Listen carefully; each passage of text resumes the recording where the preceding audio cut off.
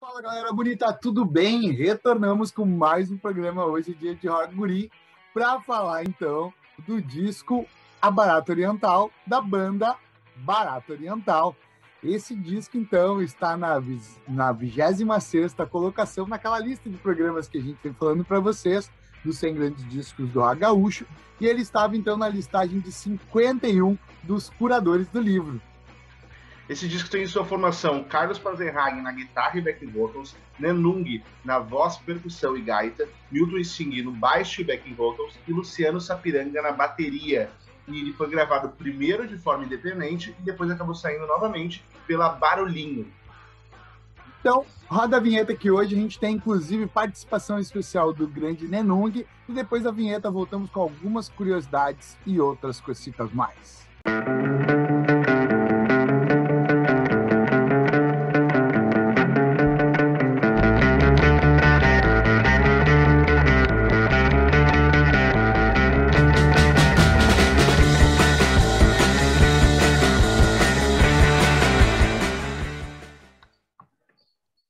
algumas curiosidades sobre Barata Oriental e também sobre esse primeiro disco da banda.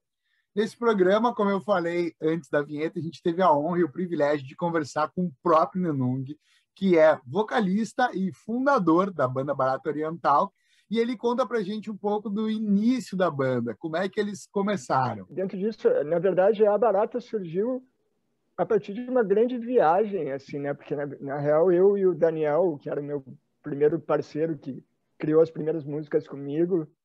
A gente era colega no ensino médio e a gente se encontrava nos recreios para ouvir fitas cassete, assim. E a gente ouvia de punk rock até os primeiros Van Halen e ACDC, as coisas mais podres da época, assim, que a gente tinha acesso, né? E aquilo era muito divertido para a gente, nos dava essa ideia de que, ah, ok, a gente também é capaz de fazer alguma bobagem, assim. Então eu me encontrava com ele e ele tinha uma guitarra e ele era um cara muito criativo, assim, embora não tivesse nenhuma técnica. E a gente começou a, a, a brincar a partir de referências muito estratosféricas, assim, tipo as primeiras letras, letras que eu escrevi eram umas, é, umas brincadeiras que meio eu tentava eu na verdade eu não entendia nada de inglês, entendia muito pouco e eu ouvia Rolling Stones, Bob Dylan e tal, e eu ficava imaginando o que eles queriam escrever com aquelas letras. E eu, a partir disso eu comecei a criar um, umas primeiras frases, umas estruturas e tal. E quando eu fui ver o que eram as letras deles, eu achava as minhas mais interessantes, porque elas falavam da nossa realidade, né? Eu não era um street fighting man em Londres, né? Eu estava em Hamburgo Velho, assim, tava, né? tava Estava numa cidade muito pequena, com muito pouco atrativo, né, onde a coisa mais divertida era se reunir com depois quatro pessoas, quatro guri e fazer muito barulho na biblioteca da igreja luterana de Hamburgo Velho, assim, né? Porque o Daniel era filho de um pastor na época, que era um senhor muito muito gentil, assim, que era uma igreja pequena ali na parte antiga de Hamburgo Velho. E ele cedeu a parte inferior da, da, do, local, do local onde eles moravam, assim, que era um apartamento cedido pela igreja. E a gente ensaiava ali, né? E fazia muito barulho, era muito caótico, assim. E a partir disso foi o germe das primeiras canções, tipo Céu Pode Cair, Preto e Pobre, né? Aquelas coisas que depois que o Daniel saiu e entrou o Carlos Panzerhagen, que já era um baita guitarrista, né? Daí a coisa tomou um corpo diferente, assim. Esse... Desde o início, a banda foi abraçada por figuras conhecidas do rock gaúcho. Foram vários os padrinhos que acabaram inspirando a banda no primeiro momento e depois começaram a auxiliar esse projeto. E o Nenung relembra alguns deles para gente. A gente começou, eu comecei a me pilhar de ter uma banda, de entrar nesse universo quando o rock, o dito rock gaúcho, estava no auge. Né? Tipo, a gente, eu e meus amigos, a gente ia para o interior, para outros lugares do interior, vários lugares assim, a gente ia atrás de shows tipo da Bandalheira, quando o Foguete Luz ainda participava dos shows, né? Inclusive ele foi uma peça bem importante no, no primeiro momento da gravação do LP, né? Que ele se tornou muito amigo, ele meio que nos adotou assim, um queridão. E também o Vander, né? O Vander Wildner. E né, a, o primeiro grande choque assim que eu tive foi ver os replicantes tocando na sacada de uma casa em Tamandaí. acho que era foi era na época ali do Rock in Rio, então acho que era 85. E que, nossa, eu vi aquilo ali e fiquei alucinado, assim, pensei, cara, eu vou ter que fazer a minha banda também. Nenung também nos contou e nos falou da importância da Rádio Ipanema para o início da banda. Para quem não conhece, ela era uma rádio muito importante que infelizmente não existe mais e que movimentava aí muito o cenário do rock gaúcho, não só naquela época, mas até os, os anos 2000 ainda estava por aí fazendo com que as bandas crescessem e ascendessem. Quem nos conta mais sobre essa relação da banda com a Ipanema é o próprio Nenung. Né? A gente ainda pegou aquele movimento com a Ipanema, né, que foi, obviamente, quem nos lançou, com o Júlio Reni, na época, ele tinha Negras Melodias, ele também eh, fazia programação da Ipanema. E a primeira vez eu levei uma fita de rolo para ele, uma fita cassete, uma fita cassete.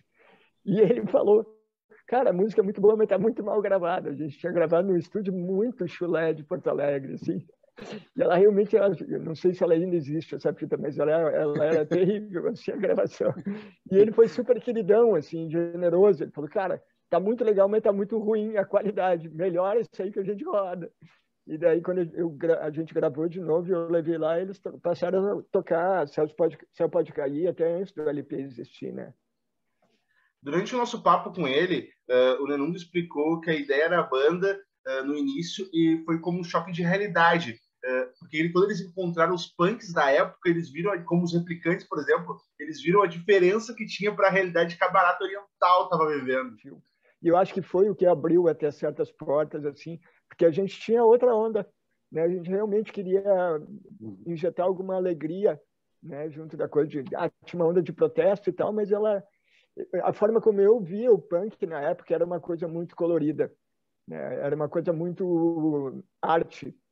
Né? E até os primeiros bastidores dos replicantes, que depois eu passei mais a frequentar, eu meio que me assustava, assim, dizia, uau, é mais violento do que eu achava, né? porque era aquela brincadeira de punk, assim, os caras se batendo, se chutando, aquela, aquela carência afetiva que se traduzia de um jeito meio tosco. Né? Uma dessas músicas que representa muito essa realidade do barato oriental, uma dessas músicas de letras que representa esse momento em que eles viviam, é Albert Einstein, uma música que é muito querida por mim, que depois eu vou falar um pouquinho mais. Então, nada mais justo do que a gente ter feito essa pergunta para o próprio Nenung, que nos fala um pouco da origem por trás dessa canção. Caixa das várias coisas que me interessavam né, de questionamento, da forma de pôr um questionamento né, a respeito até da espiritualidade, a respeito da, da coisa da, da, visão de mundo, né?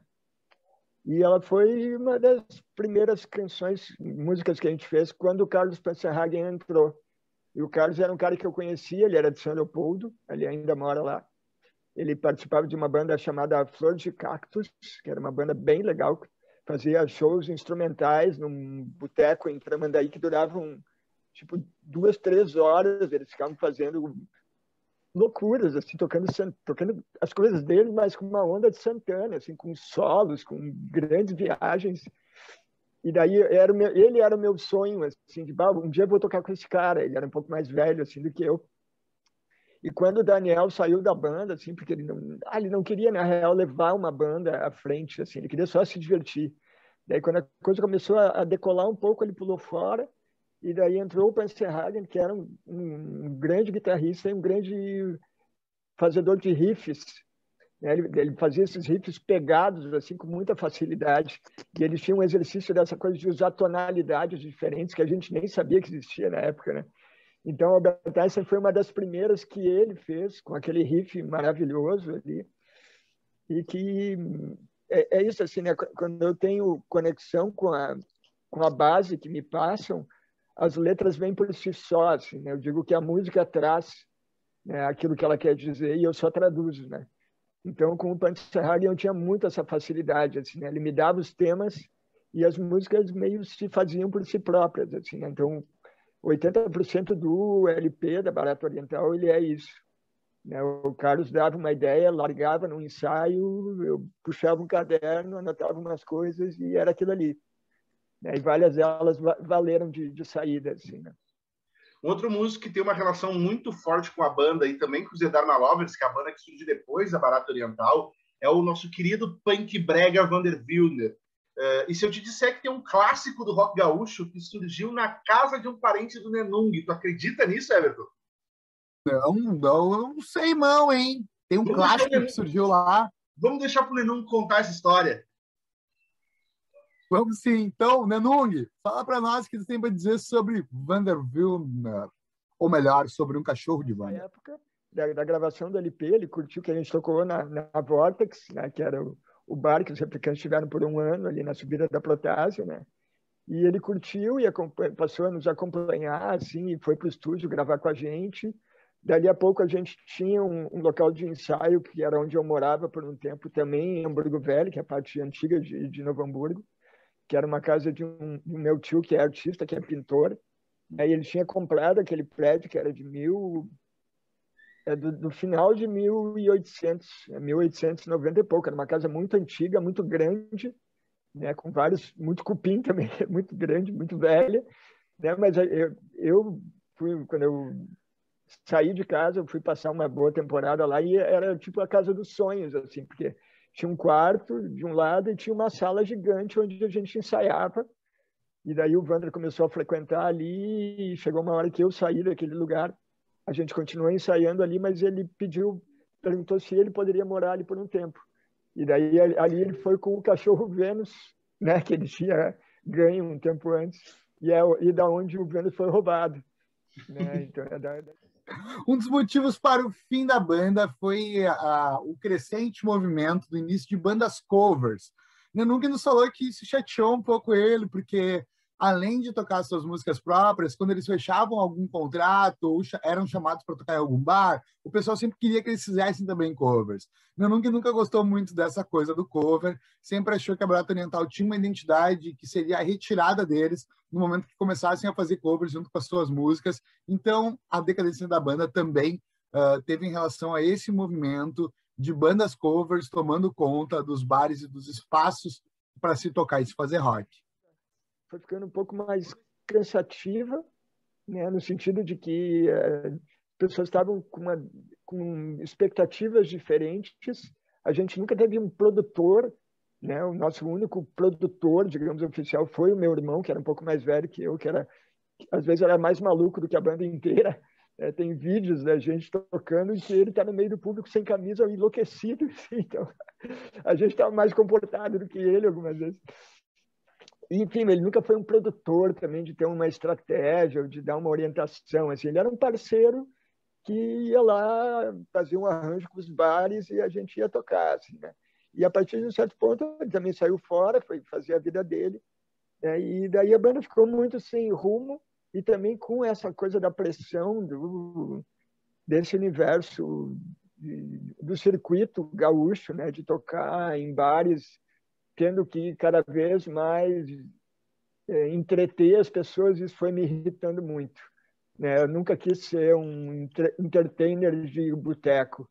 Né? Eu nunca quis competir com cerveja, eu nunca quis ficar só fazendo trilha sonora para as pessoas ficarem falando. Né? Isso era uma coisa que passou a me irritar muito. E a coisa do, do daqui a pouco tu estava tocando num lugar com um som muito precário que as pessoas dificilmente entenderiam que tu estaria cantando. Né? E eu dava muita importância para aquilo que eu cantava. Então, por isso, eu, em 95 ali eu decretei o fim da, da banda, né? meio chutei o pau da barraca.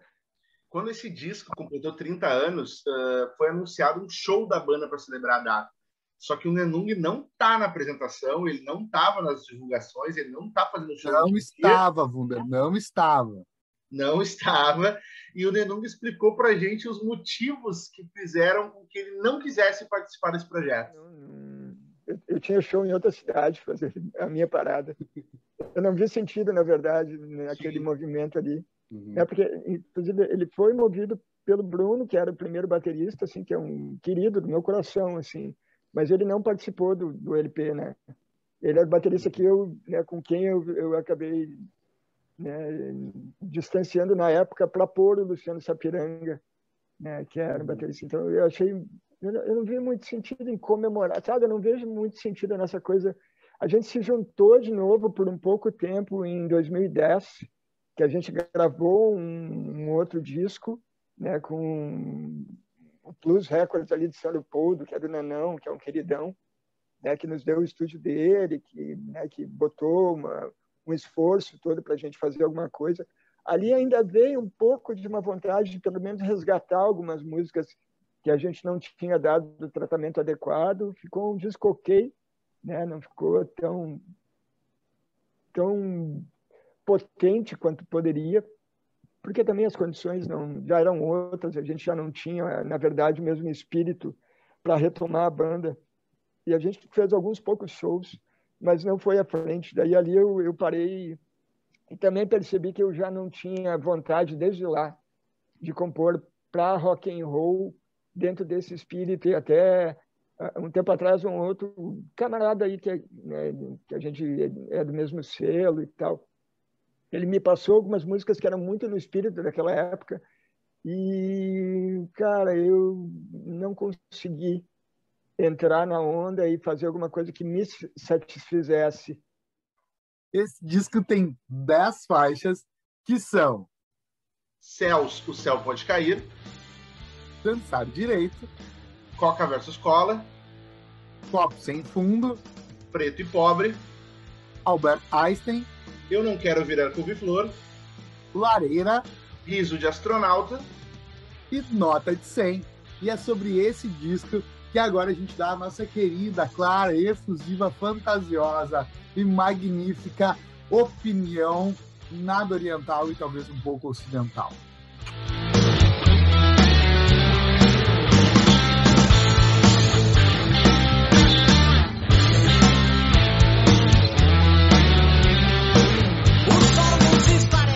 Então, galera, vamos lá. Eu conheci o Barato Oriental uh, por conta do Vander Wilder, nem foi por conta do próprio Barato Oriental. Em, uma, em um dos discos do Vander Wilder, ao final, ele faz o.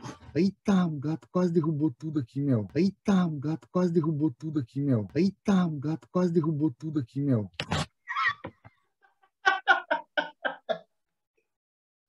Vai ter que começar de novo, acho. Vou ter. Eu achei aquela música incrível, fui pesquisar mais sobre, e aí eu descubro que existe uma banda chamada Barata Oriental, e é exatamente esse disco que a gente está falando hoje, com a música Albert Einstein. Ela é incrível. Eu, para mim, eu já digo aqui, depois eu vou pedir uh, para tocar ela. Para mim, ela é a melhor música desse disco. Ela traz muitas reflexões interessantes. A letra dela é fantástica. E eu acho que vale a pena dar uma parada e uma escutada, porque ela é uma música super atual também para esse momento que a gente está tá vivendo. Uh, a gente conversava um pouco assim sobre Barato Oriental e Dharma Lovers, né? Para mim, musicalmente, eles são diferentes, mas as letras me parecem assim, as intenções me parecem. O vocal do Nenungen, ele ele tem ele tem muita identidade dele e eu acho que serviu muito para uma banda punk e muito para uma banda zen rock assim como esse gato está servindo hoje para tentar. Eita, o gato quase derrubou tudo aqui, meu. Atrapalhar o programa, mas tudo bem. Tomara que ele fique ali quietinho, não derrube mais nada por aqui. Mas eu acho que ele conseguiu ter esses dois estágios, assim. O Nenung serve para o punk e o Nenung serve uma música mais tranquila, mais da calmaria e não perde a identidade vocal. Eu acho que isso é o mais legal de tudo. Durante o, o papo, assim, e a conversa com o Nenung, ele vai falar não desse gato aqui, mas ele vai falar que ele levou a fita então para Ipanema, né? Vocês viram ele falando ali na entrevista, entregou a fita para o Júlio Reni, o Júlio Reni, sabe, do Cine Marabá, que ele mesmo, do Tomás e Alagoa, lembra? O cara também conhecido por, por fitas em Ipanema, né? Porque parece que perderam a primeira fita do Júlio Reni, ele levou outra lá. Mas dessa vez o Júlio Reni, então, ele era ele era um radialista da Ipanema já, né? Já tinha superado Cine Marabá e tudo mais. E aí, chegando lá, o, o Nenung entrega essa fita para o Júlio Reni e pasmem, pasmem vocês, meus caros amigos. O Júlio Reni disse para Nenung ali, tá ali posto ali, o Nenung falou para nós que o seguinte, que essa fita estava mal gravada. Ah, Júlio Reni. Ô, Júlio Reni. Não, é. Não, né? Tu me criticar a fita dos outros, velho. Não, vamos se respeitar, né? Quer que eu bote a fita tua para escutar? Botei um pedacinho de Tomás e Alagoa para falar sobre fita ruim. Só um pouquinho, vamos respeitar o cara, meu. Tomás e Alagoa. Tomás. E tu, Fundeco, o que, que tu achou desse programa, desse programa, desse disco, né? Agora me empolguei aí. Cara, não tem como a gente não por mais que não sejam as mesmas bandas, não tem como a gente não comparar com The Dharma Lovers, que foi a, a gente acabou de gravar, é um dos últimos programas que foi ao ar. Então, tá muito recente pra gente e acabou rolando esse comparativo na tua cabeça e na minha também. Cara, eu achei Barato Oriental uh, muito mais pesado instrumentalmente do que The Dharma Lovers. É bem diferente a gente ouvir e pensar que é o mesmo cara que está compondo, é o mesmo cara que está cantando, mas música instrumentalmente é muito mais pesado. E eu achei muito bom, cara, achei muito bom mesmo. Porque por mais que seja muito mais pesado instrumentalmente, as letras e os tons críticos das letras seguem os mesmos, sabe? A gente vê que a mensagem que o Nanung quer passar é muito importante. E a gente, inclusive, acaba concordando com ele com o pensamento dele não querer tocar cover. Ele tinha mensagens para passar com as músicas dele. É, é, muito bom o disco, principalmente em questão de letra. O Nenung, eh, eu não conhecia The Dano Lovers, não conhecia Barato Oriental, mas assim, o Nenung, para mim, como uh, compositor, ganhou muito ponto, saca? Eu, eu coloco ele numa prateleira de grandes compositores do rock gaúcho, pelo que ele fez, pelo que ele sai fazendo, né? ele tá compondo, ele falou pra gente na, na entrevista. Então, cara, para mim foi muito legal e me surpreendeu muito as guitarras desse disco. Eu achei as guitarras bem pesadas, e daí quando a gente compara com o Zen Rock do, do disco anterior, é que dá esse choque, assim, saca? Mas, cara, é muito bom, é um disco que surpreende muito e eu acho que deveria estar melhor posicionado no ranking, inclusive, mas isso é. É chovendo uma olhada, a gente já falou de The Dharma Lovers também. Mas, assim, a gente falou, inclusive, quando a gente falou do Dharma Lovers, a gente falou do Barato Oriental e que o Barato Oriental podia, daí, elencando todas aquelas coisas que a gente tem visto que são elencadas, uh, eu acho que o Barato Oriental merecia estar no mínimo no top 20, de boa, assim, sabe? É, eles são muito importantes para o gaúcho, porque além deles serem importantes musicalmente, eles têm muito caos com o rock gaúcho, né? Que acaba tornando ele, eles estavam envolvidos num cenário ali, como a gente viu, Júlio Reni, Vander, Foguete Luz, Bandalheira, Replicantes, todas essas bandas eles estavam ali circulando. E é muito legal ver que eles são uma banda que surge um, surge um pouquinho depois, só que eles são bem mais novos que, que as primeiras bandas. Então, uhum. eles tinham uma, uma, um negócio meio que era fã e acaba virando depois am, colega, amigo, tendo as histórias que tinha de Cachorro Vênus, tendo as histórias da, da vida do Júlio Reni, eles vendo replicantes tocando na, numa sacada em Tramandaí, querendo fazer aquilo. Então, eu achei muito legal, cara, muito legal mesmo. A Barata Oriental tá aqui, eu fiquei muito feliz de ter conhecido. E para mim, o Nenung, eh, cara, entra para um, sei lá, top 5 de compositores do rock gaúcho, cara, porque eu achei, acho, acho que o que ele faz de letra, uh, um, um, pouquíssima gente faz, do, do, jeito que ele faz, desse tom mais crítico, assim. Talvez não tenha os grandes hits, aquelas músicas mais comerciais, mas as letras são muito fortes, cara. Eu acho que isso é do caralho, assim, saca? Peguei aqui meu gato só para dizer para vocês que eu estou fazendo umas caretas aqui, porque eles estão quase derrubando a iluminação aqui, então por isso que eu estava aqui ó, buscando os negócios enquanto o Wunder estava falando, eu não quis atrapalhar, porque estava bom o ritmo, então peguei ele só para justificar para vocês o porquê que eu estou numa luta aqui com a câmera, que é porque eles estão a fim de derrubar a luz, mas deu tudo certo agora. Wunder, uh, e para ti, assim, qual é a melhor música que tu, tu vai pedir, assim, desse disco? Cara, para mim a música que eu mais gostei é Dançar Direito. E talvez eu tenha gostado exatamente porque eu tava, eu ouvi The Dharma Lovers antes e essa música é a música mais diferente de The Dharma Lovers, sabe? E eu penso que é os mesmos caras ali, mas é um troço completamente diferente. E para mim, cara, ela me pegou muito essa música, assim. Não é a música mais escutada nos streamings, não é a música mais estourada, mas a música tem uma levada muito boa, assim, sabe? Ela até tem um, uns instrumentais mais comerciais, mas a letra é muito forte. Eu acho que vale a pena a galera ouvir um trechinho. Então roda um trechinho de dançar direito.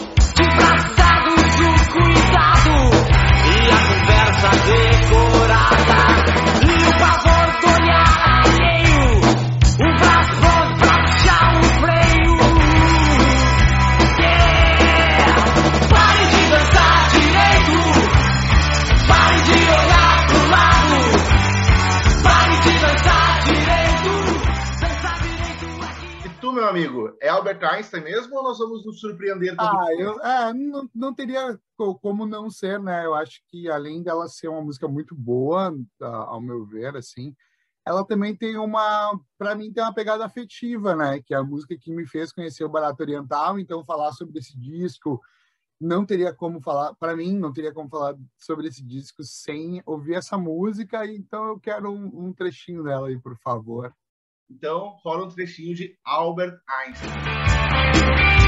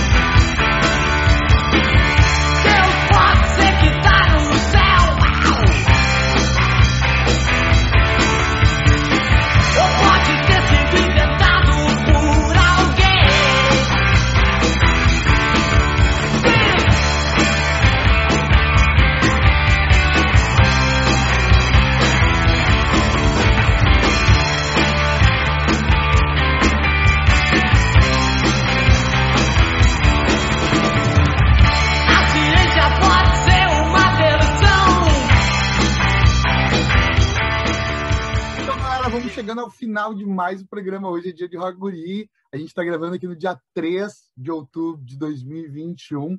Lembrando que seguimos ah, gravando à distância. Nós já nos vacinamos os dois, estamos devidamente vacinados.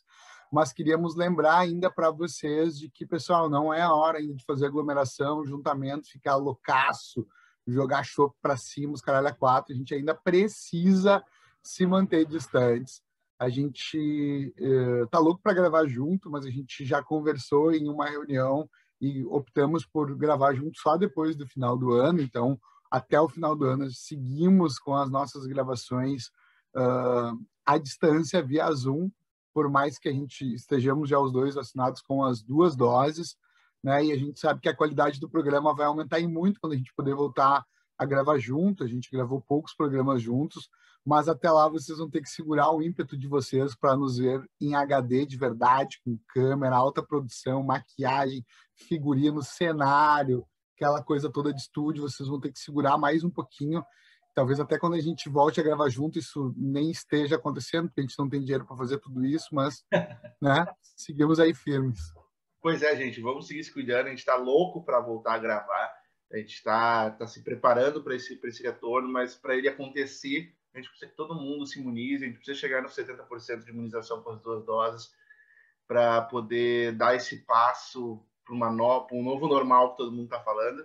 E enquanto vocês estiverem em casa, a gente espera que vocês se resguardem também. Fiquem acompanhando a gente, acompanhando nossos programas, que a gente fica muito feliz. Então tá, um grande abraço para todos vocês e até o próximo Feitoria.